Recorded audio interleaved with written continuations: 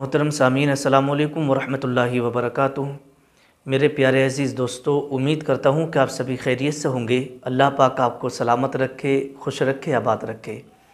तो आइएगा आज फिर मैं आपकी खिदमत में उन हजरात के लिए जो दो जोड़ों के दर्द को लेकर के बे इंतहा परेशान रहते हैं। चाहे उम्र उनकी चालीस की हो, पचास की हो, साठ की हो, सत्तर की हो और उनकी टांगों में इतना दर्द रहता है कि उनसे चला फिरा नहीं जाता।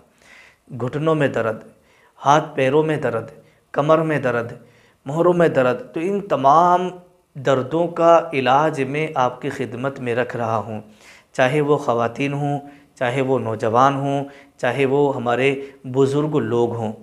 समझे, अगर किसी के भी जोड़ों में दर्द रहता हो, देखिए बहुत सारे लोग वो हैं जो नमाज़ के लिए जाते ना तो नमाज़ उनसे नहीं पढ़ी जाती है। कुर्सी पे बैठ के, चेयर पे बैठ के वो नमाज़ पढ़ते हैं, क्योंकि उनके घुटनों से उठा बैठा नहीं जाता।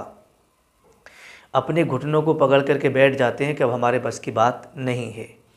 तो ऐसे मरीज़ भी अगर इस नुस्खे को इस्तेमाल करेंगे तो फिर उन्हें नमाज़ पढ़ने के लिए चेयर की ज़रूरत नहीं पड़ेगी इन कुर्सी की ज़रूरत नहीं पड़ेगी।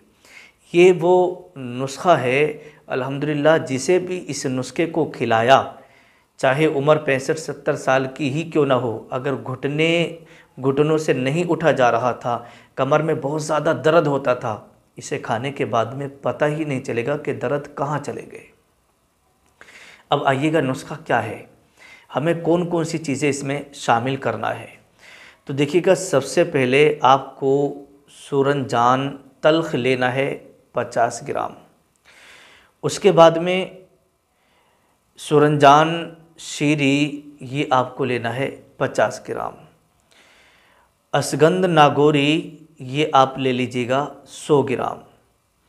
गंधक आमला सार, ये आप ले लीजिएगा पचास ग्राम। और सफ़ूफ़ शेर ये आपको लेना है पचास ग्राम। कलमी शोरा ये आप इसमें शामिल कर लीजिएगा पचास ग्राम।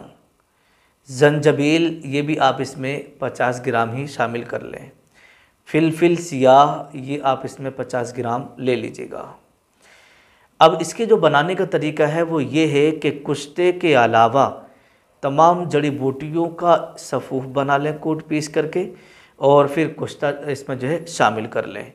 500 मिलीग्राम वाले जो खाली कैप्सूल आते हैं, वो भर के रख लें या फिर इसकी हबूब बना लें। समझे?